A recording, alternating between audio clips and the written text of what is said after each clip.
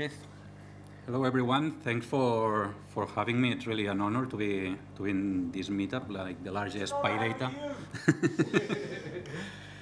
yeah, they already spoke about me. I've been in the open source community for quite a few years. In the Python one for for 12 years, a bit more than 12 years. My background is in computer engineering and with a master in AI. As they said, I for since a couple of months now, I've been in the Pandas core development team. I've been contributing for more than a year.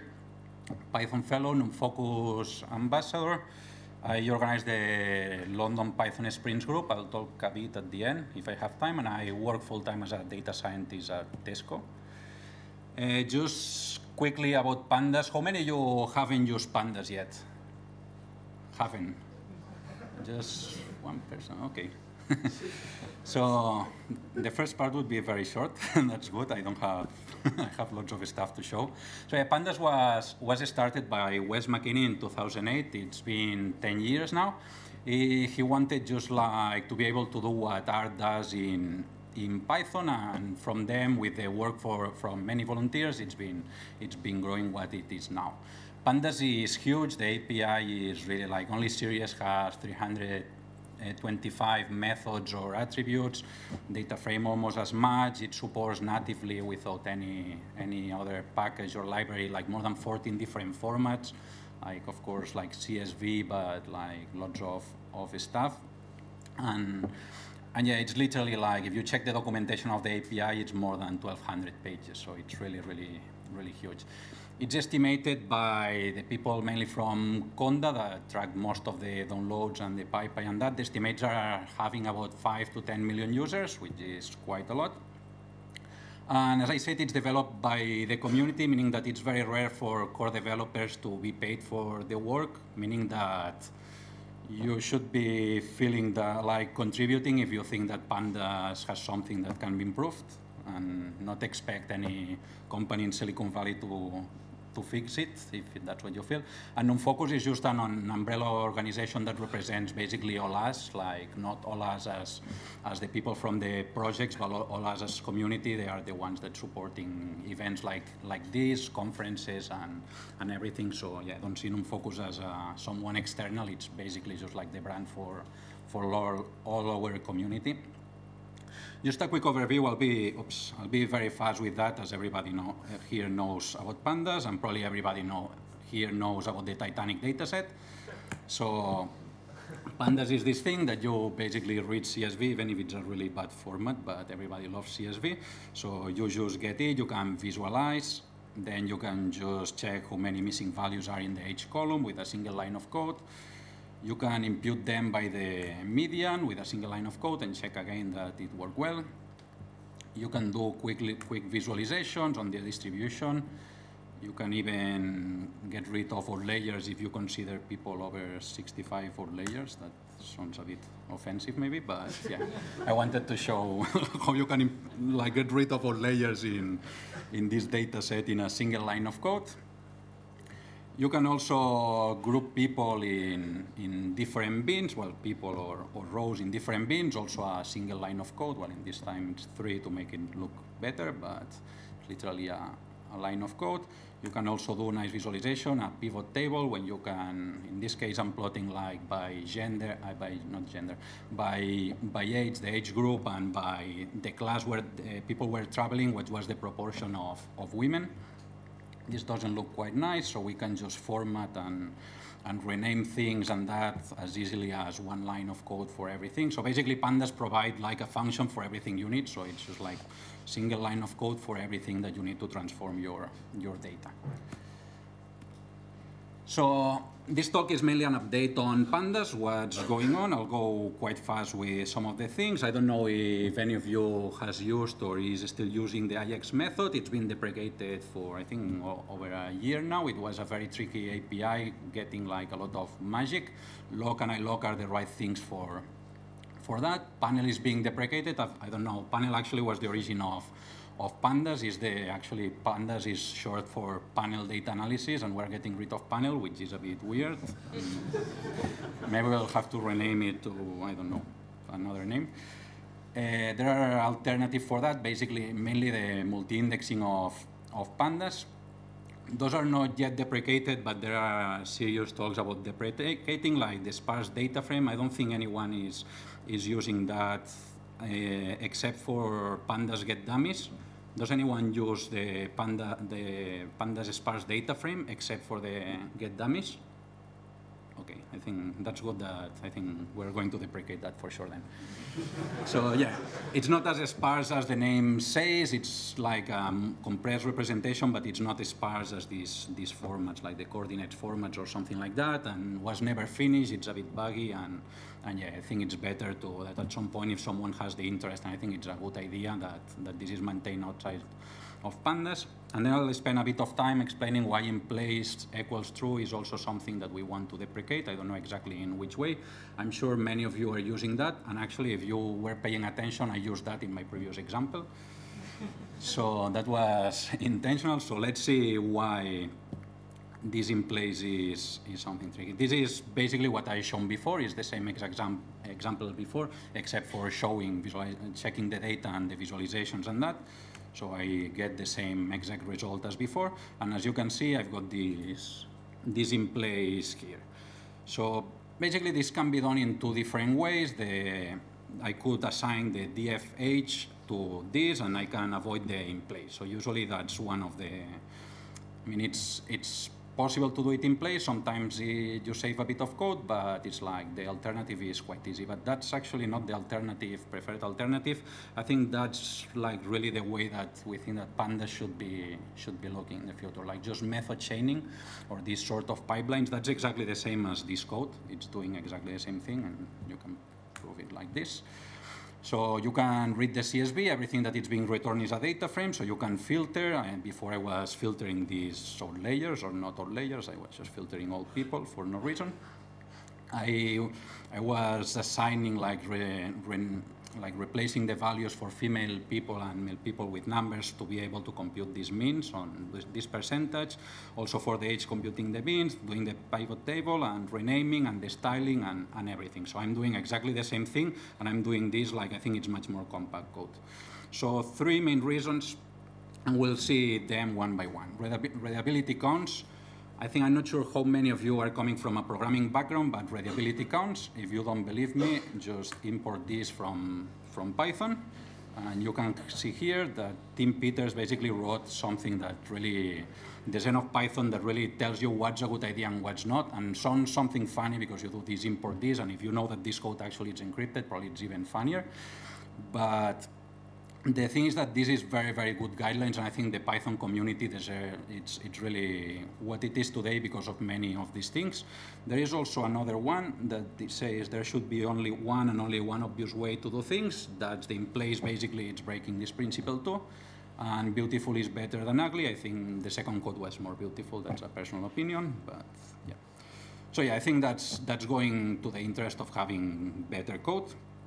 So the second one is lazy evaluation. I'll go quickly with that. It's a bit tricky, but I don't know how many of you know about generators. If you know anything about generators, you will know that this code generating 100 billion samples and sample, uh, sequ uh, sequential numbers and doing the square number of them basically takes mainly zero seconds. It's immediate because basically Python didn't do anything at all. And I have a very silly example to illustrate why. Imagine that you are the programmer, I'm the Python interpreter, and you tell me, I want you to go to Japan and get one of these fancy cats that wave the, the arm. I go there, I bring it to you, and then when I arrive, you say, okay, now I want you to go to China and bring one of these cats because what I want is to compare the Chinese ones with the Japanese ones. And immediately after that, you say, okay, that was not very smart because I just went to Japan, I was just nearby China, and now I need to go back there. That was kind of very silly. If you tell me everything first, I can plan things and I can do them much more efficiently. That's mainly what is happening here. Actually, it's happening in generators. It's happening for different reasons. But basically, this was, was doing was just like knowing what you want to do. So this map object that is being returned didn't do anything. It's just like recording what you want to do. So it's just knowing that you want me to go to China and Japan, and then when you need this data, it will be executed. So this lazy evaluation, when it's applied to pandas, we have some things like this this when I'm sorting the values and then I'm taking the three first. That's just getting the three, the three bigger values of a, a randomly generated million samples. That's cool but it's, it's the same thing as if I want the three tallest books from the, th yeah, the th three biggest books from, from this shelf, and I sort all them, and then I check which one are the threes. That's not very efficient, because I can just check which are the three first and that. So if in, in pandas, there is a method nlargest that shows basically that if you do this operation without sorting all your data and just going to the three first, it's much more efficient. This, I think, takes like one order of magnitude less than, yeah, this is 163, this is 25 milliseconds. So it's literally like one order of magnitude faster. So by understanding all the operations, you can optimize things. If you really know all the stuff that, that needs to be done by this method chaining before doing anything and only at the very end, you apply that, you can start optimizing the, the, the different tasks. And something even cooler, you can start distributing. This is what Spark or PySpark does. And this, this is from Dask, not from PySpark. But if you know that I want to go to Japan, I want to go to China and that, you can optimize and you can decide what are the sequence of things to do, which is the smart way to do, and even distribute it over a cluster of computers. So that's really like something that would be nice, and this in place would be a problem for, for doing that in terms of doing this method chaining. So these are some references because I'm going a bit fast and, and you might want to know more about generators, about this method chaining. This IBIS is a project that started to do this. You will have the slides. You can feel free to take pictures, but probably you won't have time in some cases. So the last thing for this in place is these memory copies. If I create a data frame with an NaN and I do an in place and I fill a zero, what you expect is that you already have all this data in memory and don't, don't imagine now that we have two by two, that it doesn't really matter. Imagine that you have a terabyte in a tera, terabyte in your memory and you need to fill this, this missing value. Of course, you don't want to copy this memory. You want to go to the memory, go to the place where this is missing and fill it. That's quite simple. And in place suggests this. This is the idea of in place.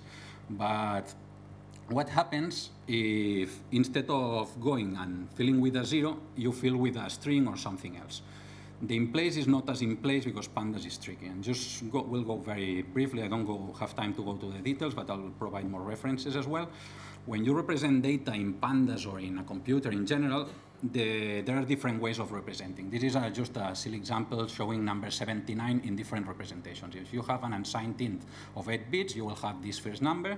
If you have a signed int with 32 bits, you will have this other, and float 64, it's of course 64 bits. If you have a Python object, it's actually what you will have in pandas is a memory pointer to a Python object that it's, it has different attributes, a reference count and that. That's something very internal of Python, but it's really what, it's, what you will have in memory. If you have a string representing this, you will have a different representation. NumPy, what it does is takes one of these types and create an array of values. So it's like saying, okay, now I decided that I have float 64 and I want 1,000 of them. So it takes a big chunk of memory, it assigns a type to it, and it assigns a shape. And that's basically what NumPy does, and then, all, of course, all the operations you can do. Pandas is a bit tricky because the data is heterogeneous. So internally, what Pandas has is a NumPy array for every different type. It's, this is named the block manager, and it's quite a big mess. And the thing is that the, work, the way computers work, these different blocks of memory, every time you need to change the size of the type of this memory, you need to get new memory from the operating system and, and drop what you have in here. So if I want to add an integer column to this data frame, in this integer block, I need to add a new column, but it's not like adding a new column as simple as that. You need to basically create a new, a new block that is the same size as this one plus a column, move all the data there, fill the new column, and then get rid of that. That's basically how, how Pandas works, and it's quite a difficult problem to solve the way that, that those things work. So well, that's what I just said. So what is this important? Like, what's this a problem? Copying this memory and being allocating this new memory, getting rid of it, and and, and copying it and deallocating it. Because processors, the speed of processors has been increasing like crazy. This is this starts from the 80. It's been increasing quite a lot. But the the speed of memory, the speed uh, of accessing to memory, it hasn't increased as much as CPUs. So most of the times your program is not as slow as your CPU can process, it's as slow as you can bring data from the memory to the CPU or make the memory operations. Computers nowadays are, are mainly memory bounded and this is a problem when when you have these operations on allocating memory and making copies of your data every time there is a there is an operation. It really, well, it's a problem in terms of performance. Your uh, results will be the same, but it will take much, much longer. So going to this example, this is the example I had before. I had a missing value and I have like, like these float values. And what happens here, what I was saying, if I fill with a value, with a value that is a, a string, I had a, a block, a single block that it was uh, two by two. Now I, I have one block that is float and another block that is object. This means that all my memory, basically, I had to allocate again and copy the data from the previous block to the new blocks and then they deallocate again. This is quite expensive, and the thing is that this in place gives the intuition that this is not really what, what should be happening. So yeah, I'm not quite sure exactly which would be the new API for that. It's still under discussion, but this in place, I would personally avoid using it much unless you really know what you're doing. Because in some cases, if you are filling a value that doesn't have involved memory copies, that's the best way. But in, in some cases that if you are doing only for the syntax, it's not. So the thing is that the block, the block manager prevents that in place operations are in place in terms of making in place of the memory. Uh, this in place true means uh, this in place true means doesn't mean that the memory is not being copied, so it can be misleading in this way. And actually, there is a you can when you are doing the other syntax that you are just assigning, you can just assign a reference and not the whole object, so you can still have the same results as the in place. You can do an in place in memory operation and and still have, have this other syntax that allow you for, for pipelines and that. You have here more references. This, the second one is a talk I gave explaining all this stuff much more in detail at, at PyData London this year at the conference. And just in case you are guessing, uh, Wes McKinney said at SciPy this year, the more you know about the, the pandas data frame internals, the more horrified you are. It's quite true.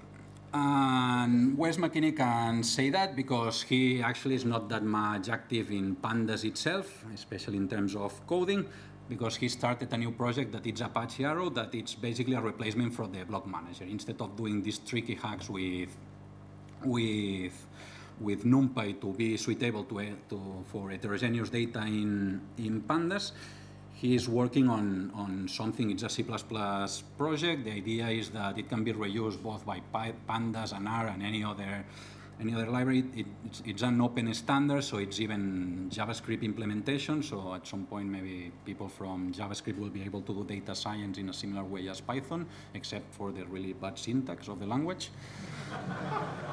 And you have more information about Arrow in, in these links, and yeah, I'm not the right person to go that much into the details. Arrow is already a stable product. It's already used in Pandas, but not as a backend. It's used mainly for transferring data. Turbo TurboDBC uses that, and you get one order of magnitude improvement in terms of speed compared to PyODBC, but using the buffers of, of Arrow. When you import data from PySpark to Pandas in the latest version, it's using Arrow too to make it faster.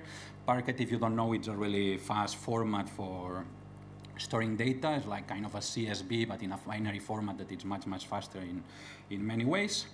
Wes is hiring. Wes created a lab that got financing from some companies to hire people to work full-time on open source. So if you know anyone or yourself uh, that is really good at C++ and really passionate about open source, just feel free to, to apply.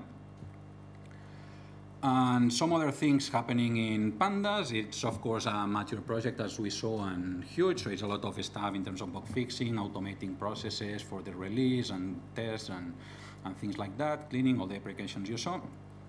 Also staying up to date with the new versions, like making sure it's compatible with Python 3.7, there are interesting things since Python 3.6 dictionaries are, are sorted. Actually, in theory, since Python 3.7, it's when they are guaranteed to be sorted, but in Python 3.6, they are guaranteed.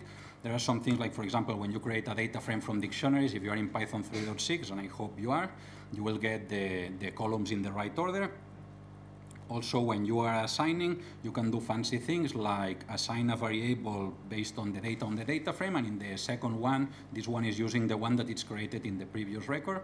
Keyword arguments are like dictionaries, so if you are previous to 3.6, they are not sorted, so they will be executed in any random order. If you're in 3.6, this will be executed on order, so the assign method would be able to chain things that you can be computing one variable based on the one that you just defined. You can just this. Uh, great example. Then dropping Python to support. This is happening.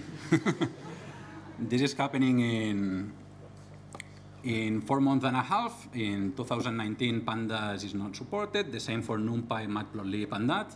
I like the hoo but so you know in SciPy, I was there in Austin this year. It was a big round of applause after that, and I will explain you why.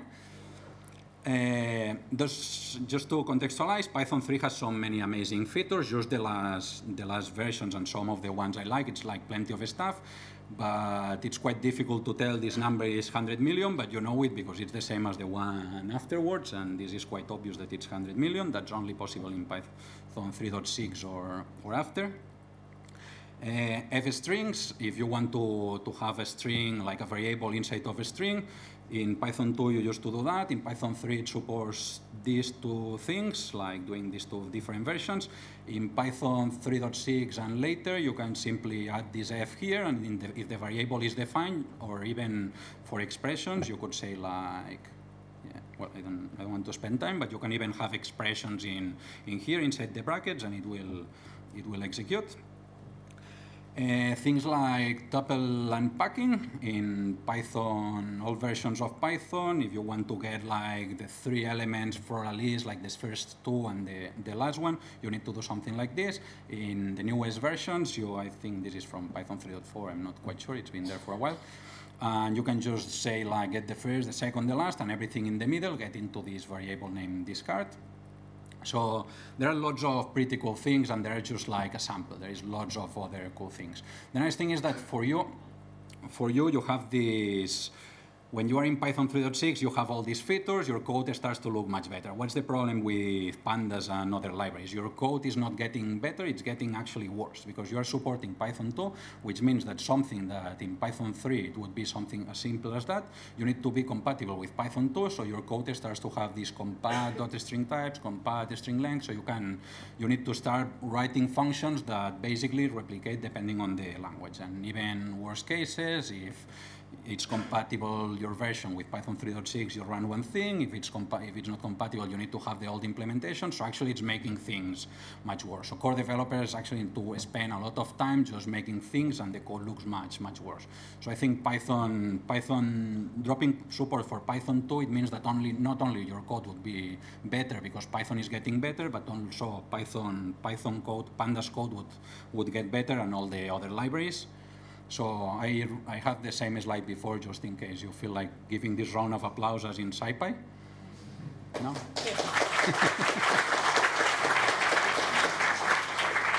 I'm, I'm glad you're excited about it. so extension arrays, that's the main development. I will go fast as the rest of the talk. But this is, uh, as I said, NumPy is being used in, for representing the data in pandas. If we have uh, a NumPy type, what we have simply is like internally it would be stored as a, as a, as a NumPy type. If we check these values, this is representing like the, the, the same value in NumPy and not much happened because actually pandas is already representing this internally. There are other types like category, for example, that they are not as obvious. And if you check values, this is not a NumPy anymore because NumPy doesn't have the concept category. So for a while, it's been different things like uh, date times with time zones that is not supported by NumPy, categories, and things like that. So recently, yeah, this is basically how is the representation. It's in this case, it's being it's being it's being represented by NumPy, but by two different arrays, one for the indices and one for the for the labels or for the categories. Uh, Tom from the Pandas core development team implemented something named CyberPandas that is an extension of Pandas for working with a type IP. So IPs are specific.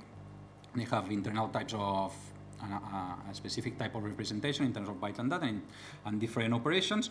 So what he did was built inside Pandas a system for having extension extensions in terms of types and then building the, this as a plugin. So this is a, a, separate library, but Pandas now has this. So everything like category and everything else is now moving to this. And now it's much, much easier to have custom types. For example, probably you know that if in Pandas you have integers and you have a missing value, this becomes a float. That's quite annoying, but integers, uh, none values don't exist in the integer wall. I, I, was showing before how, how things are represented in zeros and ones. There is no zeros and ones representation, no binary representation for integers with nones. So if you try to force that, it will still break. It will say, no way I can represent this none as, a, as an integer 8. But because of this extension, now it was somehow easy, and somehow easy, I mean that Jeff Reback did that, and I assume it was easy for him. Was probably something impossible for most of us. But yeah, now this is still in master, it's not yet released, but in the next version of Pandas, you will have this version uint 8 that you will be able to have these integer values with nones. This, I think, was the most one of the main complaints about pandas. Then there is one of the Arrow developers implemented an extension type that is mainly using as arrays. Here I'm generating a million of strings that it's spam, sometimes ended with a comma, sometimes ended with exclamation mark. Uh, I'm counting how many of them ended with an exclamation mark. And I'm going to time how much is that. Of course, it's one third because I'm generating them like without waiting. And with this Fletcher, I'm able to represent the strings, that the strings are Python objects and are very slow in pandas at the moment. With this Fletcher extension, I'm able to represent them with this Fletcher string, that this is, this is arrow, this is a string, and this is much faster. So if I do that, this basically is giving like uh, 40% of, of time in savings, 248 milliseconds to 168. This is still under development. I don't think it's ready for production yet, this Fletcher, but it's quite promising what, what is going on. Some other stuff is happening, and I'm about to finish, is the documentation. There is a major refactoring of the documentation in terms of fixing the contents, making sure that every time you are looking for a Python method, for a pandas method, for a data frame method, or, or one of the functions, you get proper examples and that. This is the plot KDE, that it was done during a, a sprint, and, and now it has plots, it has reference to other interesting pages, the parameters are well documented. Pandas documentation great, we're getting there, but it's still a, a lot of work. And also the style of the pandas documentation page is not great. We are also changing that. It's still work in progress, but hopefully we'll get that soon. This is not in pandas itself, and I'm almost finishing. I know I'm out of time already. Uh, this is in scikit-learn, but it was done by a pandas core developer, so I think it's worth presenting it as pandas thing. Uh, now scikit-learn will implement this, will, will have this make column transformer. It was quite tricky to, to apply in pipelines functions or transformers in the, in the scikit-learn terminology, uh, different transformations for single columns. That, so if you are if you are scaling your data, you are scaling everything. It was something named feature union that makes your code crypted.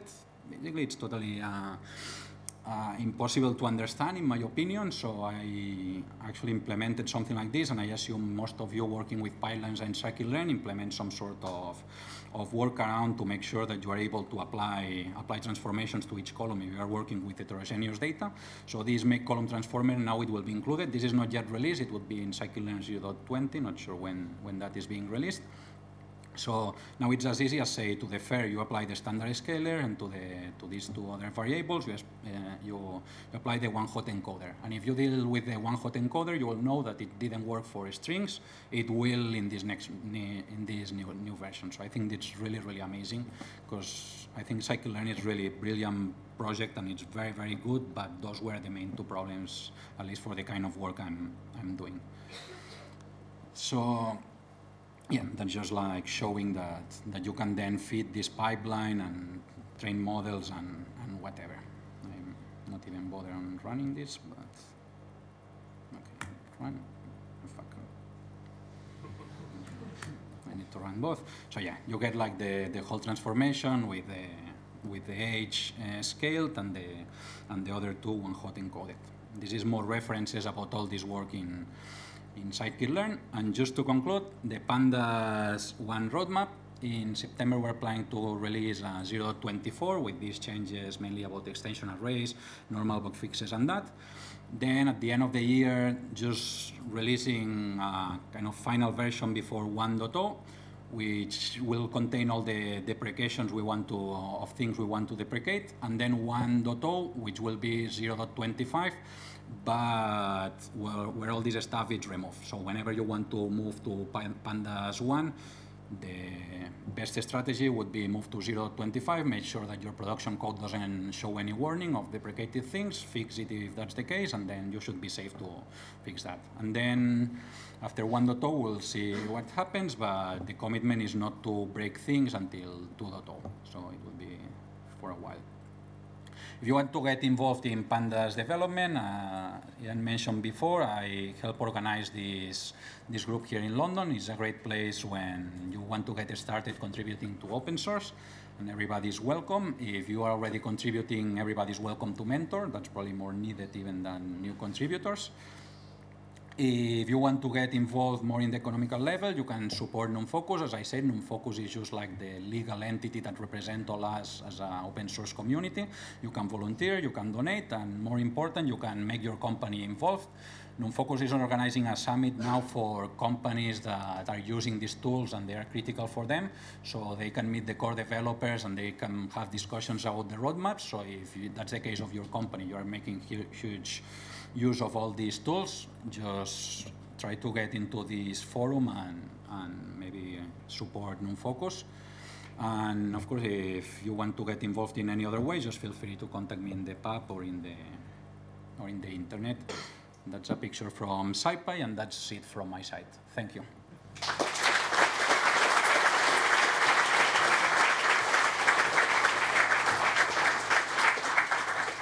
Thank you very much, Marc. So we have time for one quick question before we go on to our lightnings. Do we have one? We have lots of questions, but everyone will be in the pub afterwards. Uh, you, sir, given that you suggested the T-shirts, do you want to shout your question? Thanks. Great talk. I enjoyed it very much. My question is, you mentioned 5 to 10 million users. Uh, that's fantastic. I wonder, have the users been influencing the development? Uh, you mentioned things like cache misses and so on, and, and high-performance computing column uh, storage. Do you know like what people are doing with it? Is there like a feedback loop, and are you exploiting that, or is it all via Stack Exchange and, and, and GitHub? Uh, Could you repeat the question? Yeah. Some analytics of yeah, so the question is about these 5 to 10 million users we estimate that we have, whether they are, being, they are influencing the development. Uh, yeah, for sure you were mentioning GitHub and Stack Overflow. That's probably the main way they influence that. So yeah, of course there is a feedback loop. If you eh, look, if you go to GitHub and you open an issue and you say this is slow or I want this or that, of course that's the starting point for the discussion, even for core developers ourselves. This picture actually is the first time that the core development team met. So most of them, I think, just like probably Wes met Jeff. Well, actually, let me just for the for the sake of fairness, let's, yeah, Jeff was invisible. He's the, he's the leader of the project, so that wasn't really fair. so, was more like, do you analyze existing code bases, for example, in open source projects in GitHub? Yeah, there is, there is communication, for example, with scikit-learn, with the stats models, projects like this. We check GitHub repositories. It's some sort of analysis when we want to deprecate something. Yeah, there is some sort of checking to the best of our knowledge, just trying to yeah, speak to users if that's possible, or just go to Stack Overflow, see who is asking about that, go to GitHub and see the projects. It's a bit not that trivial to go to GitHub and start looking for, for things, but yeah, if, if we see that everybody in GitHub is using a feature, probably will be a bit more reluctant to, to get rid of that. So yeah, I mean, the communication channels are a bit tricky. I mean, it's like, 10 million users, it's impossible to talk to all of them, but yeah, there is, we try to understand what's the community using and what's the, their concerns and problems. Right, let's thank uh, Marc again.